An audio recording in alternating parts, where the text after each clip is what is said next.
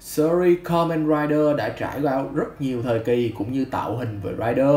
Họ là những chiến binh được ban tặng cho một bộ chiến giáp cùng với chiếc xe thương hiệu của họ. Rất nhiều trong số đó sử dụng nguồn sức mạnh khi ảo, ban tặng cho họ một chiếc thắt lưng và nhờ chiếc thắt lưng này, họ đã có những sức mạnh để chiến đấu chống lại cái ác nhưng trong số rất nhiều rider đó, vẫn có những người sử dụng sức mạnh từ công nghệ, chứ không phải từ nguồn sức mạnh thần thánh nào đó. Nổi bật trong thời đại Reiwa là Series Zero One Trước đó, thời đại mở đầu mới của Kamen Rider, thời đại Heisei, chúng ta có Kamen Rider Fight, một trong những series hiếm hoi sử dụng những chiếc thắt lưng do chính con người tạo ra, luôn phải đem theo một chiếc vali nhằm bỏ chiếc thắt lưng và những vũ khí hỗ trợ của nó, chứ không hề có một sức mạnh thần thánh nào tạo ra một chiếc thắt lưng từ hư vô, đem lại cảm giác công nghệ cũng như hết sức thực tế. Inu Takumi, anh ta là một chàng trai với gương mặt hết sức khó gần và luôn trong trạng thái có vẻ như rất nghiêm túc. Bằng một lý do đầy bí ẩn nào đó anh ấy bám theo cô gái mang tên Marie chuyển qua góc nhìn của cô gái Marie khi luôn bị một kẻ bám đuôi mình mà không rõ lý do. Và kẻ này trông có vẻ vô cùng khả nghi. Những suy nghĩ của Marie chỉ dừng lại ở sự nghi ngờ cho đến khi chàng trai đi chung với cô tan rã hành cát. Dấu hiệu đã bị tấn công bởi một Ophenot bỏ chạy khi thấy Takumi vì nghĩ anh ta chính là kẻ đã gây ra sự việc. Thật may mắn trong khi chạy trốn khỏi Takumi, Mari đã gặp một chàng trai và hy vọng anh ta sẽ giúp đỡ mình. Nhưng sự thật hắn ta mới chính là Ophenos đã ra tay. Cảm thấy tình huống vô cùng nguy hiểm, Mari đã chuyển hóa nhưng nó không tương thích với cô, đặt cô vào tình thế chỉ còn chàng trai luôn bám theo mình ở trước mặt cô đã đặt tất cả niềm tin vào hắn ta. Kích hoạt mã số 555 trên chiếc Fire Phone, anh ta đã chuyển hóa với luồng năng lượng phô tông đỏ sáng rực cả màn đêm. Kamen Rider Fire đã chính thức xuất hiện. Sau trận chiến đầu tiên, chúng ta cũng được biết rõ hơn về tính cách của Takumi. Anh ấy là người có một nỗi đau trong quá khứ và không thể nào thoát ra được quá khứ bí ẩn đó. Luôn tỏ ra vẻ ngoài một sự thờ ơ và chẳng hề quan tâm, cũng như chẳng hề ước mơ về tương lai và định hướng của bản thân anh không quan tâm tới tất cả mọi thứ, đến cả những việc bí ẩn vừa xảy ra. Đó là về những tên quái vật. Chỉ hạt lưng cũng như tại sao cô gái đi theo mình lại bị tấn công, anh ta chẳng quan tâm bất kỳ điều gì. Thậm chí đến lời đề nghị bảo vệ cô gái vì anh sử dụng chiếc thắt lưng, anh cũng chẳng hề quan tâm. Sự lạnh lùng và thờ ơ đó đã làm cho nhiều người lầm tưởng anh là một kẻ tàn nhẫn và vô tâm nhưng thực chất đó chỉ là nỗi đau đã xảy ra trong quá khứ đã biến anh trở thành một con người không muốn trở nên quá thân thiết với những người mà anh gặp mặt cho dù vô tâm như thế nhưng anh cũng không thể nào bỏ mặt Marie khi quay bị tấn công bởi tên Ophenos với sức mạnh của vôi. Lần nữa, dưới sự bất đắc dĩ của mình, anh phải chuyển hóa thành Kamen Rider 5 Vai được thiết kế là một chiến binh thon gọn giống những rider khác trong thời đại Heisei, mặc lên người một bộ suit đen, bộ giáp kim loại với những chi tiết bảo vệ những bộ phận quan trọng và những đường phô tông màu đỏ chạy khắp cơ thể của anh. Đôi mắt là một hình tròn được cắt đôi, tạo nên hai chiếc râu đặc trưng của series rider với những vũ khí được trang bị trên chiếc thắt lưng của một rider hết sức thiện chiến Mặc dù là một trong những chiếc hắc lưng đầu tiên nhưng vũ khí hỗ trợ cho File là vô cùng nhiều. Vũ khí đầu tiên File Phone Thứ giúp anh biến hình là một chiếc điện thoại gập khi xoay ngang đầu súng và kích hoạt mã lệnh hai trạng thái bắn khác nhau, bắn đơn và một trạng thái bắn liên tục, tấn công tầm xa kẻ thù và đẩy lùi chúng một cách hết sức hiệu quả. Đây chỉ là vũ khí hỗ trợ và tấn công trong một số trường hợp cấp bách chứ không phải là để ra những đòn tấn công quy lực để kết liễu kẻ thù. Vũ khí hỗ trợ thứ hai được anh sử dụng nhưng đa phần chỉ là để tấn công bằng đòn tất sát, fire pointer, một chiếc đèn pin để chiếu sáng cũng như ra đòn tất sát cực mạnh của anh của Rider Kick trong truyền thuyết. Vũ khí cầm tay lại có tên gọi khá thú vị, nó là một chiếc máy ảnh có khả năng chuyển đổi trở thành một nắm đấm giúp tăng khả năng cận chiến khi kết hợp với Mission Memory của anh cũng kích hoạt được đòn tất sát.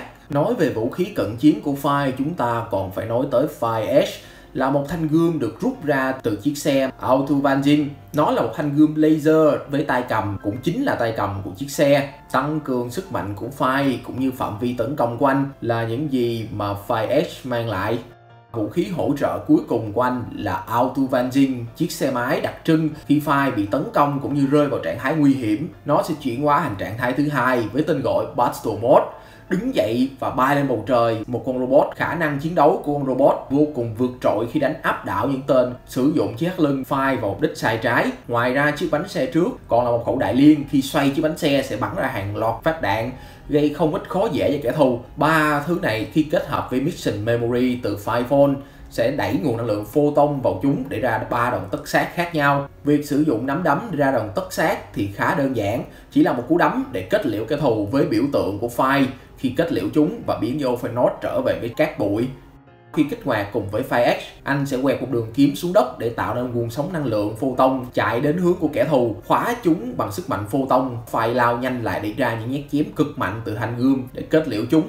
Còn tấn công tất sát thương hiệu của anh lại tính từ vũ khí không có bất kỳ khả năng hỗ trợ nào là Fire Bonzer kích hoạt cùng với Mission Memory gắn nó vào chân. Anh nhảy thật cao lên bầu trời, chiếu ánh sáng từ chiếc đèn vào người kẻ thù. Nó sẽ tạo ra một mũi khoan, phai lao nhanh vào chiếc mũi khoan này. Sau đó anh biến mất cùng với chiếc mũi khoan, xuyên phá kẻ thù với sức mạnh từ photon. Kết liễu chúng bằng biểu tượng đặc trưng của anh. Ngoài những vũ khí hỗ trợ cơ bản, kích hoạt mã lệnh giống với Delta, anh sẽ triệu gọi nên chiếc xe Z Slider của hắn. Giống và hoạt động tương tự nhưng file lại không thể nào tận dụng được chiếc xe này và dễ dàng bị Delta sử dụng Dragon Ophenot hoàn toàn áp đảo và hủy diệt. Một vũ khí khác là một cặp đại pháo với hình dạng là một chiếc loa mang tên File Sounder chỉ xuất hiện trong hai bơ DVD của File cùng Mission Memory cho ra đòn tất sát là những luồng sóng âm vô hiệu hóa cũng như kết liễu kẻ thù. File Excel, trạng thái nâng cấp đầu tiên của file kết hợp cùng với chiếc file phone là chiếc đồng hồ Excel, thứ vũ khí vốn dĩ không hề có trong chiếc vali được Mari mang theo bên mình mà lại đến từ Kusaka, Kamen Rider Kaisa, kẻ khó ưa nhất trong toàn bộ series, chiến đấu với tứ trụ của Ophenot nhóm Lucky Clover chưa bao giờ là việc dễ dàng đối với Fire. Sức mạnh của bọn chúng cùng với những tên Ophenot hỗ trợ, một mình anh không thể nào chống lại tất cả. Kusaka xuất hiện, trên tay của hắn có một vật phẩm nâng cấp. Hắn ta đã ném thẳng nó vào mặt của Takumi vì đây là vũ khí được thiết kế riêng dành cho Fire. Chiếc đồng hồ Excel tạo hình là một chiếc đồng hồ thể thao nhưng có một bộ phận được gắn Mission Memory hoàn toàn mới khiến cho chiếc đồng hồ khá dài. Nó chỉ có công dụng duy nhất là tính giờ nhưng khi anh kích hoạt trạng thái Excel thì mọi thứ sẽ hoàn toàn khác. Khả năng điểm giờ của chiếc đồng hồ không phải là điểm lên mà là điểm ngược lại thời gian trong khoảnh khắc 10 giây. Mọi thứ diễn ra quá nhanh, một tên Ophenot đã bị tiêu diệt. Đến cả những kẻ mạnh nhất trong Lucky Clover cũng không thể nào hiểu được chuyện gì vừa diễn ra.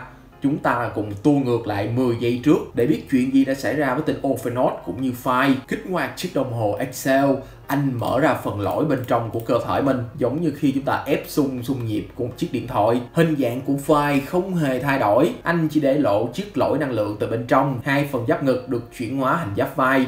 Tông màu của file được thay đổi thành màu giáp sắt những đường phô tông đã được chuyển hóa thành màu bạc. Có vẻ như tất cả nguồn năng lượng đã được tập trung vào lõi cũng như phần mắt của anh cơ thể được chỉ có hai màu, bạc và đen, cũng như đôi mắt đỏ, thể hiện sự nguy hiểm của anh khi chuyển hóa hình dạng này. 10 giây, đó là khoảng thời gian của startup. Anh di chuyển với tốc độ cực nhanh đến mức mà không ai có thể nhìn thấy được. Trong khoảng thời gian 10 giây, anh sẽ di chuyển với tốc độ khủng khiếp này để ra những đòn tấn công lên người kẻ thù mà chúng không thể nào phản ứng. Cũng là khả năng mà chiếc đồng hồ Excel mang lại. Kết hợp mission memory mới cùng với những vũ khí, anh sẽ tạo những đòn tất sát với tốc độ khủng khiếp nhưng đặc trưng nhất phải Bonzer, đòn Rider Kick của Phai khi anh lao lên bầu trời sẽ tạo ra hàng loạt mũi khoan. Với tốc độ siêu thanh của mình, anh sẽ lao vào tất cả những mũi khoan này cùng một thời điểm để xuyên phá kẻ thù.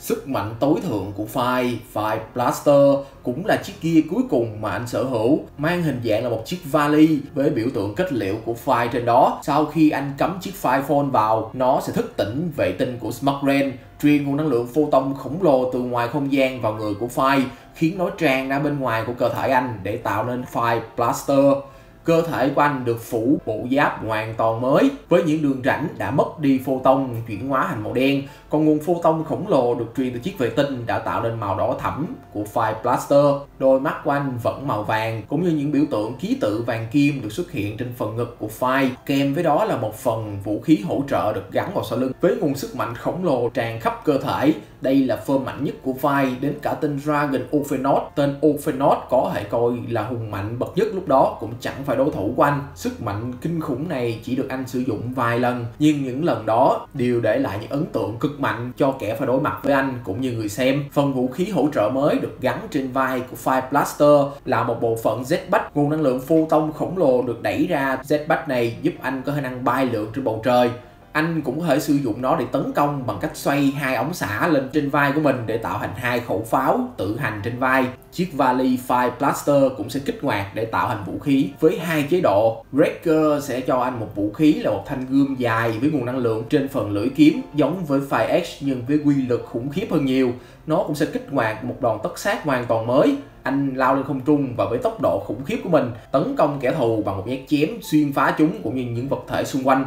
Buster Mod Blaster trở thành một khẩu pháo quy lực khủng khiếp mà khẩu pháo này mang lại nó có quy lực lớn hơn Firefall vô cùng nhiều và cũng có thể kích hoạt đòn tất sát để tạo ra một vụ nổ năng lượng giải phóng từ khẩu pháo hủy diệt này Đòn tất sát Crimson Smart của anh cũng được đổi tên thành Blaster Crimson Smart. Anh vẫn như vậy lao lên bầu trời bằng động cơ Phantom Fuel. Những kẻ thù thật sự hứng chịu của Rider Kick này chỉ có King Overlord lẫn Commander Oga. Sức mạnh của nó thể hiện rõ nhất trong trận chiến với Oga. Nguồn năng lượng phô tông khổng lồ không tạo thành một mũi khoan mà nó được giải phóng xung quanh Phai khi va chạm với kẻ thù. Nó giống như một lưỡi cưa phăng tất cả mọi thứ. Trong tập phim đó là cắt đôi cả sân vận động với nguồn năng lượng phô tông khổng lồ được tạo ra từ cú Rider Kick phá hủy tất cả mọi vật thể xung quanh. Ngoài ba form có trong series chính, File sẽ có một hình dạng nâng cấp chuyển hóa từ File Phone thành một chiếc smartphone hoàn toàn mới Tên gọi của anh sẽ là Finex. Chúng ta vẫn chưa biết nhiều về khả năng chiến đấu cũng như sức mạnh đặc biệt gì đó từ anh. Chỉ biết chiếc smartphone này sẽ chuyển hóa được thành ba hình dạng của ba vũ khí cơ bản cũng như triệu gọi những vũ khí cũ mà File đã từng sở hữu mình đã có hai video clip nói về file, về nội dung, tạo hình cũng như dự đoán của mình về Commander File kỷ niệm 20 năm. Nếu các bạn quan tâm, hãy tìm trong kênh của mình nhé. Chúng ta đã hoàn thành mục tiêu 10.000 subscriber. Cảm ơn các bạn rất nhiều vì đã ủng hộ kênh mình từ ngày đầu tới tận bây giờ. Chúng ta sẽ cùng đến mục tiêu tiếp theo là 20.000 subscriber. Nếu bạn thấy video này hay, hãy like subscribe để mình đạt được cột mốc đó nha. Và cũng như mọi khi, đây là kết thúc video. Mình là Riding On. Thanh quá trình. Hẹn xin